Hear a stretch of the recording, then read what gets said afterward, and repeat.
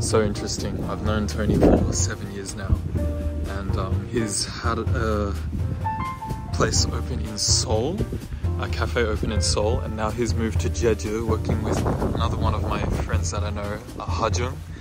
Um, shout out to both of them. Honestly, that was the best coffee that I've had in such a long time, and their place is so beautiful. The interior looks really nice, clean aesthetic. Coffee's great, food's great. They do their own bean roasting, which is awesome. And they're planning to teach people how to roast their own beans as well. Yeah, nicest people ever.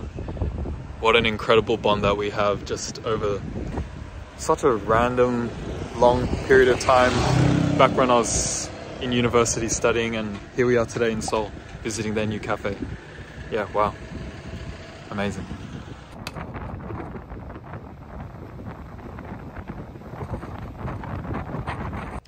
Last day in Jeju.